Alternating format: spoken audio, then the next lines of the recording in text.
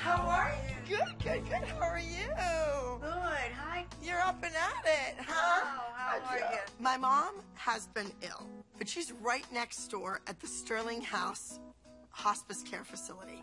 I want to bring some cheer to all the people that are there.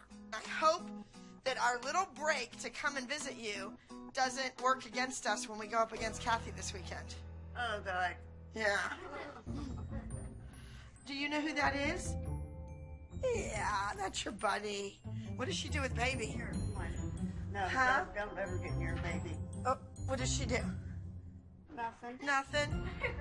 So, are you gonna come out and watch the girls dance? Yeah. Okay. My mother loves the children. But come on, she's been a dance teacher for more than 60 years. She's a tough critic. How's everybody doing tonight? Good? Well, you all know who I am, right? I'm Abby Lee Miller. Girls are gonna just dance for you. So thank you all for coming. I hope this is a little different tonight and we entertain you.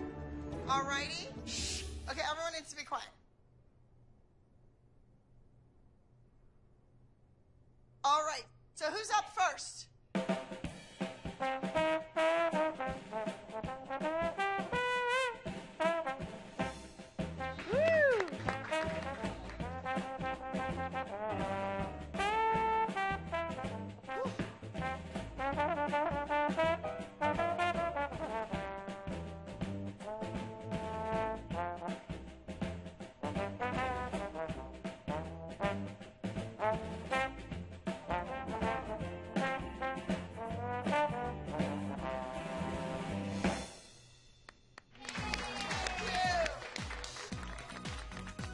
Sometimes dancing isn't all about competition.